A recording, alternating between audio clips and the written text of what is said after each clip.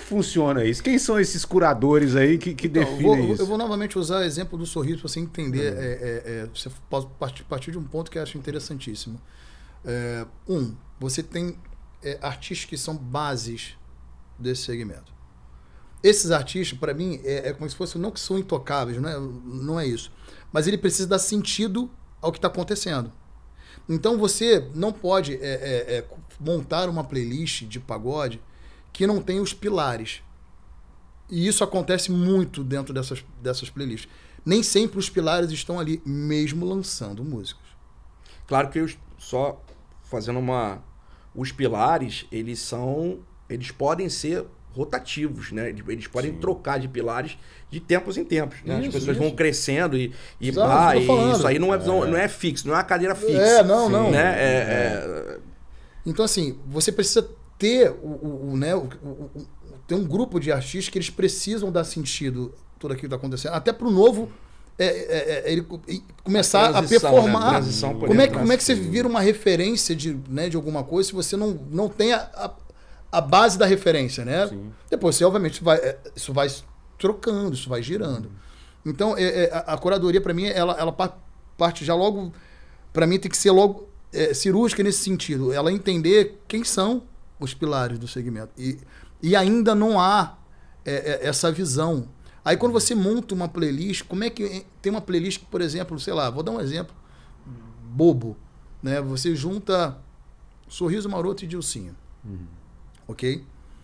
Aí, nessa, nessa playlist, né, vou citar na Pagodeira, que isso é, é um caso recente, inclusive. É, a gente lançou uma segunda música do projeto. Tem uma mensagem apagada, lançamos o Prejuízo. O Prejuízo é o, é o segundo lançamento desse projeto. É, ela ainda não está performando na Pagodeira. O Mensagem Apagada está. É, aí eu não sei qual é o critério que eles, que eles, que eles usam para validar o Prejuízo como uma música para entrar na Pagodeira. qual é a base de referência que eles usam? Se mensagem apagada está, aí você entra no, né, cheque de rádio, tá entre as músicas mais executadas, e eu vou partir para o ponto mais sério da, da discussão. A performance dentro da própria plataforma. Você pega o Dilcinho, é o maior representante de samba é, de ouvintes mensais da plataforma no gênero pagode. O Sorriso hoje, eu estava levantando essa semana agora, a gente, se não me engano, é o segundo artista de maior ouvintes mensais, que o primeiro menos é mais, o segundo Sorriso. Ou seja, estamos no game. Se for avaliar por número dentro da própria plataforma, seria um pilar da plataforma.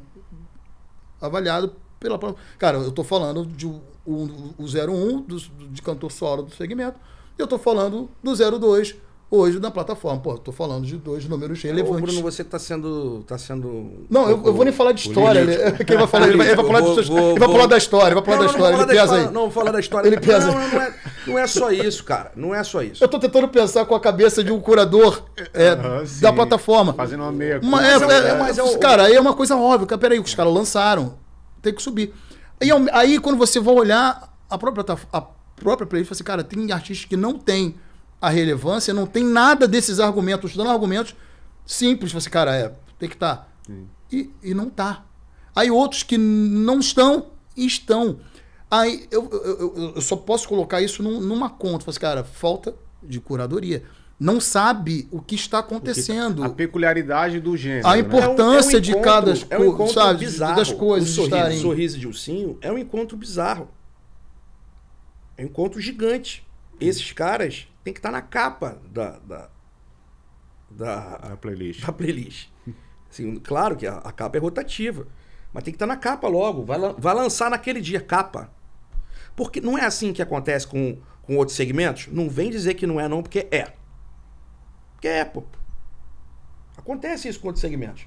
Vou lançar a Glória Groove, capa. É ou não é? Sim. Gustavo Lima. Cara, É, algumas coisas eu, eu, eu, eu não sei dizer é, 100%. Mas, é, por exemplo, esse exemplo que eu dei é, é real. Capa. Por que, que não é, é um encontro Sorriso e Belo? O velho, Sorriso e Belo nunca gravaram juntos. A música não estreou na pagodeira. Tipo assim, eu digo na, na, quando começou a música, Uhum. cara, tinha que estrear na pagodeira, tinha que ser aquela coisa assim, ó, vamos começar aqui na pagodeira. Começar na maior playlist. A pagodeira É, não, porque- na maior playlist de, de, Pagode. de pagode, como na maior rádio do Rio de Janeiro, maior rádio de São Paulo, maior- en- entende o movimento que tem que ser feito. E assim, não é falta de entrega. Entregaram, receberam de forma antecipada. O pitching e tal. foi Receberam feito de forma com- antecipada, não é dinheiro, tá, gente? É receber a música Sim. de forma antecipada, o Todo pitching planejamento, feito, tudo. todo o planejamento, tudo certo ali. É, eu entendo, ah, não, mas tem critérios. Tá, mas qual o critério para um encontro de belo e sorriso precisa ter o- mais é o quê? mais o quê? Sim. Precisa ter mais o quê? Não tem, não tem que ter nada. A gente tá dando. Entende? tá- É, é, é, é- não- é de não forma, faz não é de sentido, forma grosseira. assim. Eu acho que, pô, o, o Spotify é muito bom. É, conheço as pessoas, algumas pessoas que, que trabalham lá, outras que trabalharam. É muito bom.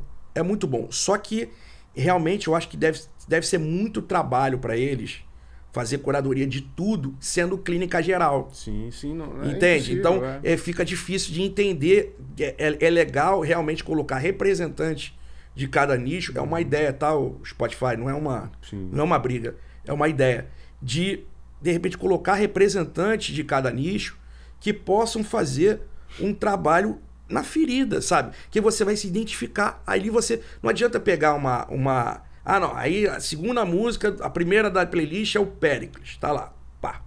Aí a segunda vem o Dilcinho. Aí a terceira vem o Vou pro Sereno. Não. Não conecta. É, Precisa essa ter diferença transição. sutil, quem é do quem não é do segmento É não como vai se perceber. fosse um DJ, cara, como se fosse um DJ visualizar. na pista. Sim. Você tem que fazer uma. Eu sei que eu sei que esse quebra-cabeça não é fácil, né? O primeiro, o segundo, os lugares na playlist são lugares meio que é, é, é, ajustados ali. Tem Ranqueado, um, é tem um, tem um, é quase um ranking. É, tem um jogo ali pra, pra fazer. Eu sei que é difícil, tá, galera? Só que tem que ter links, tem que ter situações. Uhum. Senão, senão a playlist fica ruim. Sim. E, Sabe? E tendo, não é legal e tendo uma gente. curadoria mais assertiva nesse aspecto aí, a performance naturalmente vai melhorar da- da Melhora, playlist, você vai melhora. conseguir agradar mais o público, né? É Porque